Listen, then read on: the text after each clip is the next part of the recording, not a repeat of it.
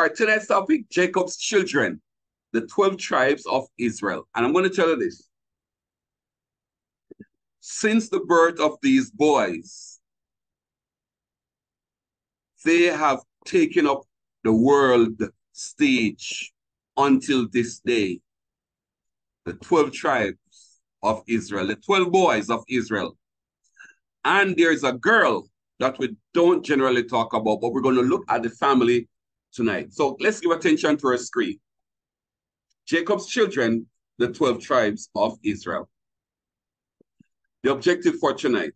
At the end of today's session, each of us will be able to repeat at least seven of the boys' names born to Jacob and his one daughter. Everybody must at least know the one daughter's name. But I'm hoping that we can repeat at least seven of the boys' names. And we have a slide set up that should help us to know every one of them, the 12 of them. And I'm hoping we can achieve that tonight. That is the goal tonight, to know the names of every boy, each of the Israelites and their sister. The children of Israel that will be meeting tonight, we're going to be meeting Asher, we're going to meet Reuben, Simeon, Levi, Judah, Dan, Naphtali, Gad, Issachar, Zebulun, Joseph, and of course Benjamin right there, and of course Dinah. We are going to study these boys. We're going to look at their mothers, we're going to look at their birth, and then we're going to look at their names. And I would love for us to walk away tonight knowing everybody's name tonight. And I know you can do it. I really want to say that at least tonight we know the names. These are the boys from then to now and in the future till the book of Revelation come to a close. They have taken center stage around the world. Let's continue. So these are the children. These are the mothers. We have Leah. Leah had uh, a maid, Zilpah, and Zilpah is also a mother. We got Rachel, and Rachel had a helper named Bilhah, and Bilhah is also a mother. So technically, we got four mothers for the Israelites. But we bring it down to Leah and Rachel. But it's really four. Well, considering the culture at the time, we keep that too. So Leah, between Leah and Zilpah, there'll be nine. And between Rachel and Bilhah, there's going to be four. And this is going to be the 13 children of Israel. Leah and Rachel, war for the children.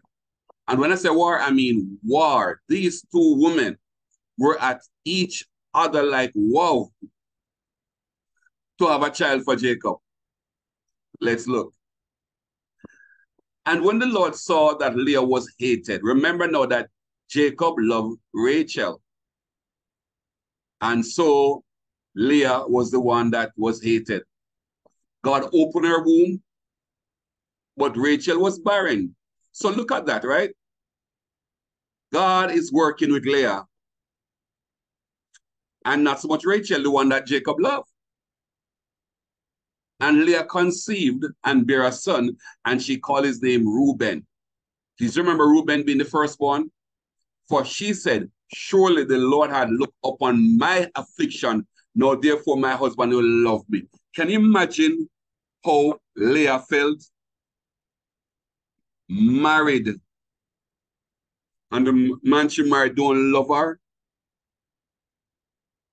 the one he loved would be her sister. That's painful. She called it affliction. And Leah conceived again and bare a son and said, Because the Lord hath heard that I was hated, he hath therefore given me this son also. And she called his name Simeon. And she conceived again and bare a son and said, This, no, this time will my husband join unto me, because I have borne him three sons. Therefore was his name called Levi. And from Levi, we're going to get the book of Leviticus. Now, hold on. How many children so far? One, two, three. Now, if each child come nine months apart, can you imagine how long Leah has been trying to get Jacob to love her? Rachel not having any children. And so Leah is believing that having the children is going to bring the husband to her. And she keep trying. And she conceived again and bear a son. And she said, No, will I praise the Lord. Therefore, she called his name Judah. And she stopped having children. Now, you notice that the first three children she had, she had them with the focus of Jacob on her mind. It's all about the boys, I mean, Jacob. But when she had Judah, she says, No, I. It went back to her and God. No, I will praise the Lord. Therefore, she called his name Judah. So when the focus came on her and God, her relationship with God, I'm not going to tell that she stopped thinking about Jacob because you're going to say that she did not. But this fourth time she says, you know, God, this is between me and you. And so she said, I will praise the Lord. And of Judah, you know, Christ is going to be born. Of Judah, we're going to have now the Jews. And of the Jews, we have now the Jewish religion. No wonder it is so because this is when Rich um Leah says, I will now praise my God. And out of that came the land of the tribe of Judah, Jesus Christ. And out of that came the Jewish religion, the Jews. Right. So when the Bible said that she left off bearing, means she stopped having children now. That's four gone. And the Bible said that she, she, didn't have any more after a while. Now, when Rachel saw that she bear Jacob no children, she envied her sister, Rachel. Rachel is the one that Jacob loved, but she not having any children, so she, she, she, she, she envied her sister. And she said unto Jacob, bro, come here, come here, come here. You need, you need to give me children, or else I'm going to die. You, need to you, you need to get you need to get some children for me. You need to give me children. Jacob's get Jacob got angry and kindled, you know, just get vile and start to style up Rachel and say, look here, you think so, my God? Men of God, I God make you have no God make you have no children. Let me just say what him said. And he said, Am I in God said, Who had withheld from thee the fruit of thy womb? And know me, so you can you can rush me, say, I must give you a child. And so we have this animosity between Leah and Rachel, and now Rachel turned on um, Jacob. So Rachel come up with a plan. Rachel said, Tell you what, behold my maid Bilhah. Go in unto her, and she shall bear upon my knees, that I may also have children by her. You remember um Agar and Sarah? Cool. And she gave him Bilhah, her handmaid to wife, and Jacob went in unto her, and Bilhah conceived and bare Jacob a son. And Rachel said, God had judged me, and had also heard my voice, and had given me a son. Therefore, call his name Dan. Later on, we could discuss, right? If if Rachel's commentary is something of substance, right? You know, she said that this boy is hers, and God would have heard her voice, heard her cry, and had given her a son, and God would have judged her, you know, said that, okay, she's not guilty. Later on, we could have some discussion on that. Anyways, her boy is called Dan. And Bilhah, Rachel's maid, conceive again and bear Jacob a second son. And Rachel said, with great wrestlings have I wrestled with my sister, Leah. Leah, shut up about now, you Leah. I've wrestled with my sister and I and I've prevailed because now I can have children. And she called his name Naphtali. She's not the one having the children. Is having the children. And she still focused on her, her sister, like, sister, I'm having children now. Even though they're not hers, hers, hers, but you know, they're hers. When Leah saw that she she stopped having children, now Marcus, she gone four, Rachel gone two. And she realized she's not having any more children. She said, okay, no problem, Rachel, no problem, Rachel. Let, let's, let's play your game. So she took Zilpah, her maid, and gave her to Jacob for his wife. And Zilpah, Leah's maid, bare um, Jacob a son. And Leah said, an army, a true comet. And she called his name Gad. And Zilpah, Leah's maid, bare Jacob a second son. And Leah said, Happy am I, for the daughters will call me blessed. And she called his name Asher. You notice how meanings are applied to names?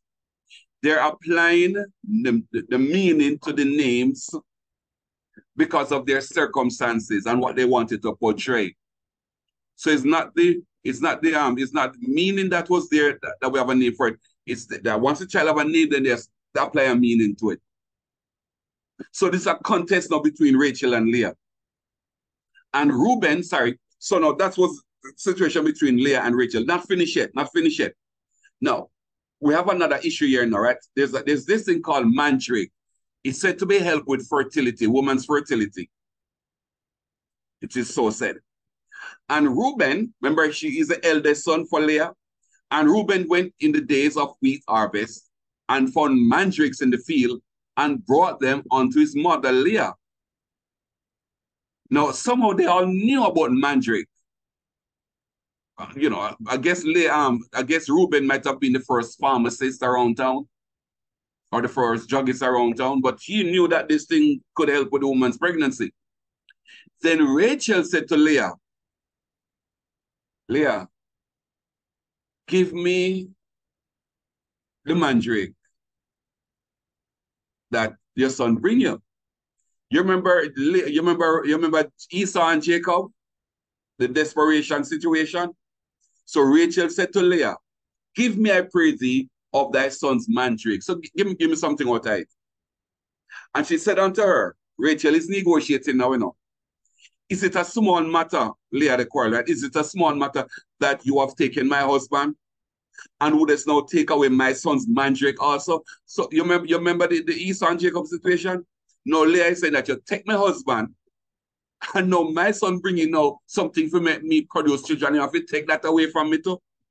And Rachel said, All right, tell her what. Therefore, he shall lie with you tonight if you give me the mandrake. So I will send her, or I'll send Jacob over to you. And, and you give, give me the mandrake, give me some of the mandrake, and, I, and I'll send him over tonight. Remember the Esau and Jacob? All right. And Jacob came out of the field in the evening, and Leah went out to meet him. Now, remember, now he's supposed to be heading over to Rachel's house. So Leah went out to meet him and said, You must come in unto me, for surely I are you. I have hired thee with my son's mandrake. May pay for your sleeping over my house tonight. I have hired thee with my son's mandrakes. And he lay with her that night. Jacob never choice. And God hearkened unto Leah, and she conceived and bare Jacob the fifth son. And Leah said, God had given me my hire. So I paid the wages and it paid off because I have given my maiden to my husband and she called his name Issachar. So that's how Issachar came, right? Came from a husband that was hired. And Leah conceived again, Mandrake working. And Leah conceived again and bear Jacob the sixth son. And Leah said, God hath induced me with a good dowry man, money, payment. Now will my husband, no, my husband is going to come live with me now. Remember, no, it's not, not your handmaiden doing this now. She'd have her child herself. And now she said, my husband now, they're going to rate me. He's to come live with me now because I've born him six sons. And she called his name Zebulon. And afterwards, she bare a daughter and called her name Dinah. So don't forget now that Dinah, Dinah's mother is Leah. After the sixth son, so so so so Dinah would have been the seventh child for Leah. Right? Rachel's child. And God remembered Rachel, and God hearkened to her and opened her womb. And she conceived and bare a son. So the magic cracking over the work. And she conceived and bare a son and said, God had taken away my reproach because she felt badly. And she called his name Joseph and said, The Lord shall add to me another son. These are the children of Israel. But that's the story how they all came about. That's the story how they came about. Now let's look on there, right? We got Asher, we got Reuben, we got Simeon, we got Levi, we got Judah, we got Dan, we got Naphtali, we got Gad, we have Issachar, we have Zebulon, we have Joseph, we have Benjamin. And of course, we cannot leave out Dinah. Dinah is going to be featured in our story later on. The boys them not going to really almost kill off a whole nation because of she. So these are the names of the children. And I'm gonna and I'm gonna teach us the names tonight. I will teach us the names tonight. But let's look on them in a little bit more detail, right? So we got Reuben, we got Simeon, we got Levi, we got Judah, we got Issachar, we got Zebulun. Now, these are Leah's birth children. Then we got the children for Leah through Zilpah, which is Gad and Asher. So now remember now that Leah is also the mother for um for um Dinah, but we'll soon come on to her. So for Bilhah and Rachel, right? So Bilhah would have produced Dan and Naphtali. Rachel would have had Joseph and Benjamin. So this is what it looks like, right? So Dinah belongs to Leah. This would give us now nine children for Leah. And of course, we have now four for Rachel and Bilhah. I'll show you another again uh, from another screen.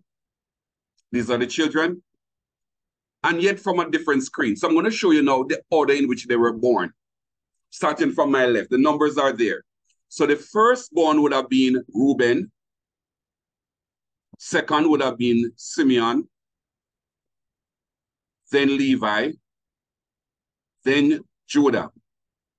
So after Judah, after Judah, right, we're going to jump over to Bilhah right now. Just, just jump over to Bilhah with me. I'll soon come on to Dan, all right? From, from there, Judah, we're going to go to the boy Dan, which is going to come now from Rachel's side. Then Naphtali. All right, then let's jump back to Bilhah. We got Gad. Then we have Asher. Then jump all the way back over to Leah. We got Issachar and Zebulun. And let's jump back over to Rachel, where we got Joseph and Benjamin. And of course, we know that Dinah was there as a 13th child. So Jacob have 13 children. We're only focusing on the boys because of patriarchal community. These 12 boys are the reasons for where the world reached today. They are scattered around the world, and I cannot tell you all the places they be, but I could tell you this. Look at all the big new um, TV stations, especially the news channels, newspaper um, newspaper um, outlets. Check all of them. Um, diamond factories, the banks. Just go check them out who own these. Even Facebook. Go check who owns Facebook. And so the Israelite might seem to be in the land of Israel, but that's not true. Israelites are scattered around the world. In a subtle way, yes, they are really influencing the world too. But let's continue here. Now, let us memorize the names. Let us memorize the names. This is how we're going to do it. We're going to do it by alphabet. So, this is how you're going to do it, right? Work with me one by one. Just work with me, right? So, if you say the alphabet A, there's an A. So, if there's an A, there's an Asher. Now, we have a B, we got a Benjamin. A, B, C, we don't have any C. We got a D, Dan. A, B, C, D, E, we don't have any E. We don't have any F. We got a G, which is God. H, we don't have any H. We got an I, which is Issachar. We have a J, which is Joseph. And we have another J, which is Judah. So after J, K, L, no, we have a L, which is Levi. M, we don't have any M. We have an N, Naphtali, L-M-N-O-P, Q, we don't have any of those. But we got an R, we got a Reuben, we got an S, Simeon. We don't have any T or U or V, but we got a Z, which is Zebulon. I'm saying use the alphabet and you get everybody correct. So I'm begging you know it. We're studying from Genesis, coming all the way up, and this is where we are.